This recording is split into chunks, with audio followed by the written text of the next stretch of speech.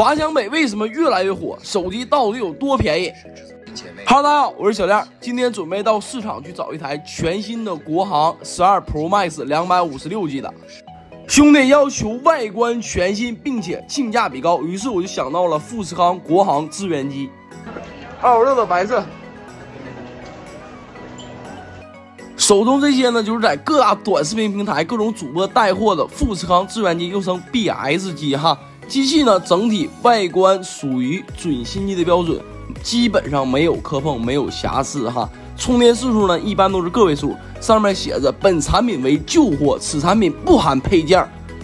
下面来看一下这台机器的这个机况哈，充电次数只有零次，可以说是一台准新机。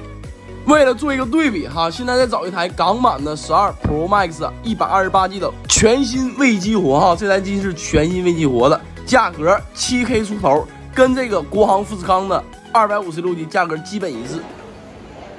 因为这个老哥呢，他是要送女朋友的，所以呢，我把这个富士康的资源机给他封包了一下哈，送起来这个有里有面。大家可以对比一下这个价格哈，国行的这个十二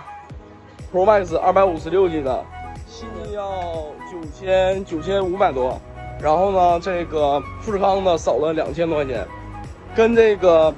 港版的一百二十八 G 的，它俩的价格差不多，所以你就知道这个差价还是挺大的哈。